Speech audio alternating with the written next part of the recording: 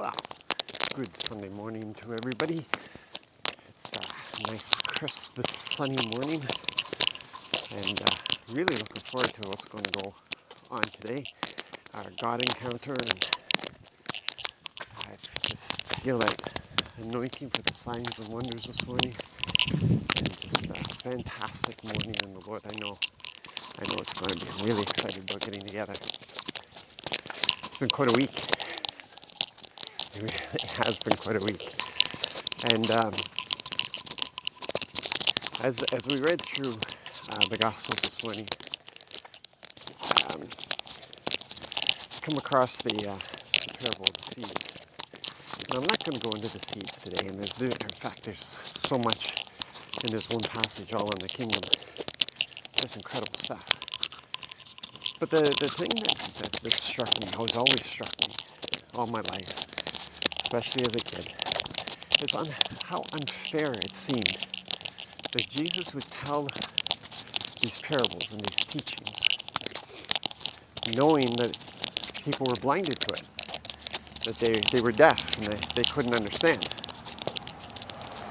And uh, when his disciples asked him about it, he said, yeah, the secrets in the kingdom haven't been given to them, it's been given to you. Uh, so why bother teaching, right? Why bother telling them? Well, it's because the, the kingdom is so precious.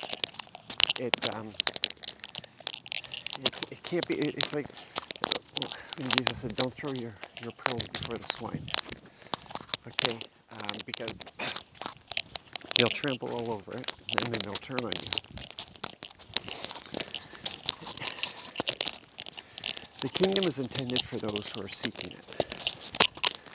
it it's not, it's not to be treated like a, a, common commodity, something that's out there just as, as a as a choice. As sometimes we market it, we we make it one of, of many choices. Uh, that's why the current teaching in a lot of places is that Jesus is just one choice.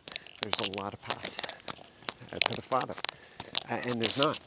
There's only one path. His name is Jesus. And there's only one kingdom. And uh, and so it's been hidden. It's been hidden so so that only those who really seek it, those who are desperate for it, those who want to discover the secrets, those who press in, those who chase after it, those who look for the face of God, the presence of God, will discover it. But it, it, it it has to be a desire. It has to be a desperation of the soul. It has to be a crying out. And when that happens, then these secrets are revealed. It's it's Jesus describes it as, as finding a, a treasure in a field. You know, it's so precious that you, you sell everything to possess it.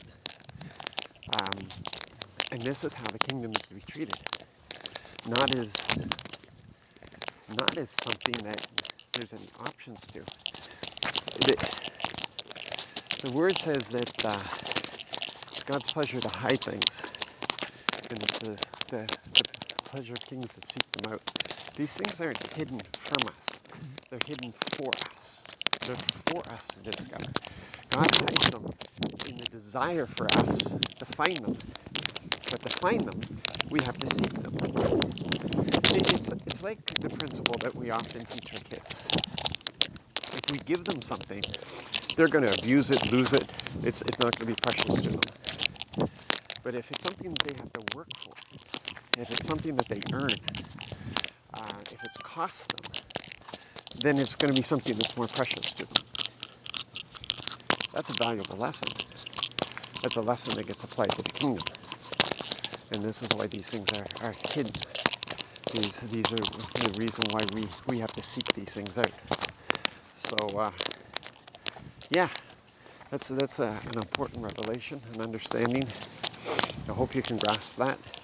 And I hope you can become desperate for the kingdom so that you can discover these, these secrets, these revelations, these things that He wants us to have. So you have a, a blessed day. Those of you who are joining us at the servant's house, we will see you soon. And if not, then I just pray that you'll enjoy your tribe today. God bless.